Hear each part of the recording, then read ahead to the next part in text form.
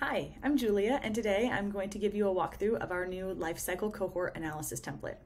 The Lifecycle Cohort Analysis template teaches you about your active and inactive user base with, one, with just one input from you. If you're new to product analytics, this template is the perfect place to start answering questions about your user base, and it's also a handy shortcut for Mixpanel pros. So let's start building our template.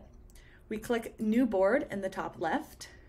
We'll click Use a Template, and then we'll select Lifecycle Cohort Analysis and start from template. We're in a social media environment, so we're going to choose our value moment as post content, and then we will create our board.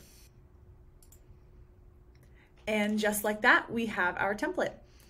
So right off the bat, we've got some helpful walkthroughs of what each of the cohorts is defined as, uh, so that anyone who comes and looks at this report will know what's going on. Um, then we start with a 30 day time period, but if that's not what makes sense for your business, we've got a seven day period and a 90 day period just down below. Further down, we have some value moment analysis. So we picked post content as our value moment. So this section is all about how often people are posting and even lets you know how little people are posting before they go dormant so you can strategize ways to re-engage your users. Finally, we have a little retention section down at the bottom that can help you contextualize all of the information you just learned.